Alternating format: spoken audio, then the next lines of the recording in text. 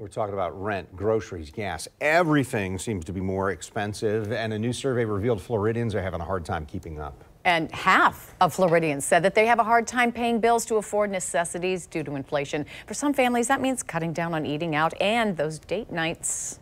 Yeah, news four JAX consumer investigator Lauren Verno joining us now. Lauren, I understand you found a, a one industry heavily affected by inflation here that uh, parents probably haven't noticed here.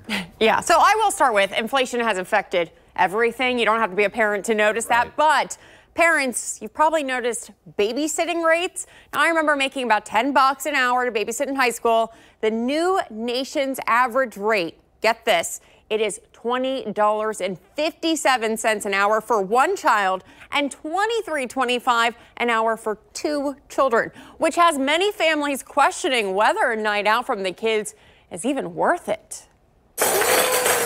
Mom Tina Peckham never stops moving with her two boys. And one for Austin. Two year old Austin and five year old Archer. Can you give me those wooden spoons?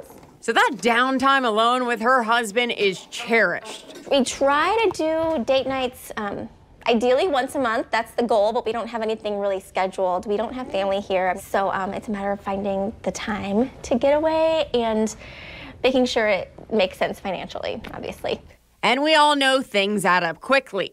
For you guys to have a date night, how much is it going to run you? Oh my gosh. For like dinner and a movie and not even like at a really nice restaurant, um, just basic, I would say about 150, maybe 200. And the babysitting cost is is a good half of that.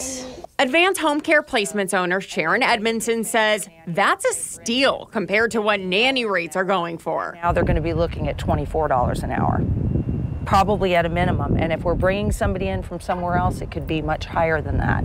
We're seeing rates rates anywhere from 22 to as much as 35 an hour. And that's the rate for one or two children. When you start getting into three to four, um, we've done some placements recently that are up in the 80 to 110,000 a year.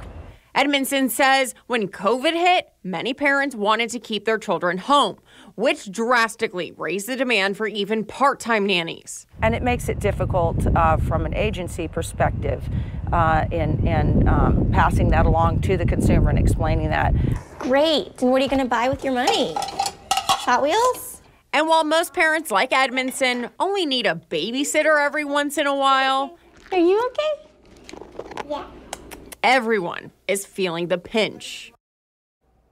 Yeah, that is for sure. And for those pet parents out there, yeah, cost of pet sitting also has gone up. The national average right now for just watching your pet going to cost you $16. Cost per dog walk, $18. Mary, I don't mean to call you out, but you said you didn't make almost $2? There, oh, back when I was a babysitter, but I tell you about, there's a reason why I'm working here right now because I got a lot of pets. Look at those charts. I no, Mary, could you imagine if uh, you had to have all your dogs walked? It's no. not possible. Yeah, not for that. And, and John Gahn also babysat is something else we learned during that story. So I know we're a lot older than you are, though, Lauren. There you go.